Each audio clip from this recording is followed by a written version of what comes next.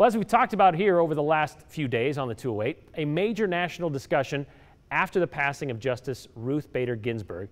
It continues to be about the now vacant seat on the United States Supreme Court. President Trump says he's going to announce his nominee on Saturday, and it appears the Republican controlled United States Senate could sign off on it soon. A goal for many Republicans is to do that before Election Day.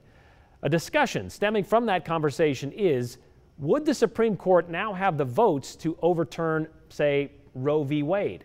That's the landmark case that affirmed a woman's right to make her own medical decisions, including the choice to have an abortion as protected under the 14th Amendment. Many have asked what would happen with abortion rights across the country if a new justice could tip the scales toward overturning Roe v. Wade. Well, here in Idaho, that process is already outlined through legislation passed just this last year. Joe Paris explains the situation. Idaho Senate Bill 1385, which was signed into law this past March, lays out a roadmap for if the United States Supreme Court ever overturns Roe v. Wade. That's a Supreme Court case that provides abortion protections under the 14th Amendment. The bill is what we call a trigger bill.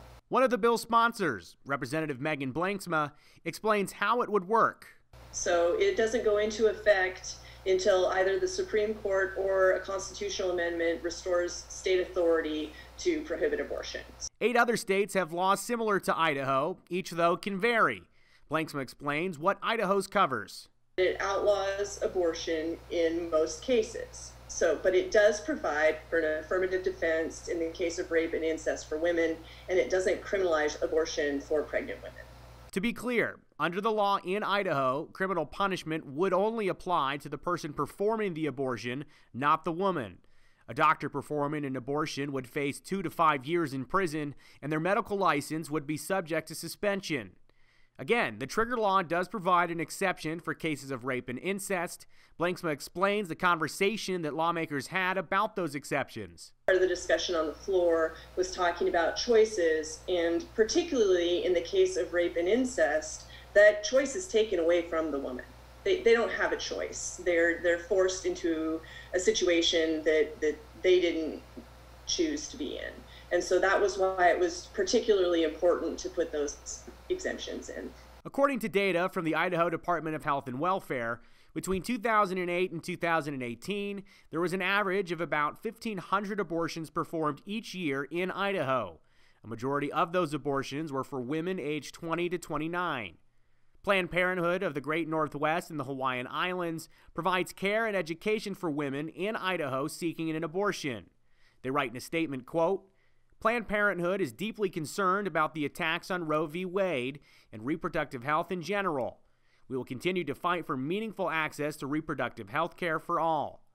Lawmakers said during the 2020 legislative session they had a lot of feedback from Idahoans about the push for pro life protections. Idaho, as a state, is very overwhelmingly pro life. So we had an overwhelming amount of support for this legislation.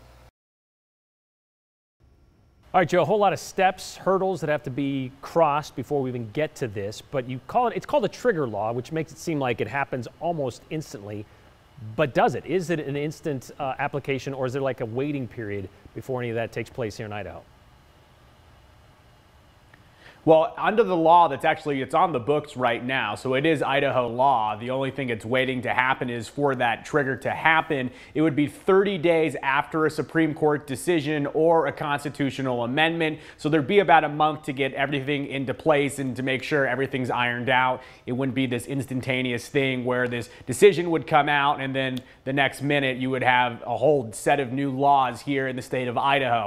And there's also been questions that I saw back in March and uh, it really really as recently as this week about why did this happen in Idaho in 2020? Were they looking forward to something like this? Well, Representative Blanksma said this is something that lawmakers and the people of Idaho have been working on for several years. It just happened in 2020. This past legislative session is when it finally got done. So there wasn't some ulterior motive at the beginning of this year looking ahead to what could happen at the end of 2020. This is just kind of when everything worked out. Yeah, they've been trying to do this for couple years now in the Idaho legislature. But again, as we mentioned, a lot of things have to happen before we get to there.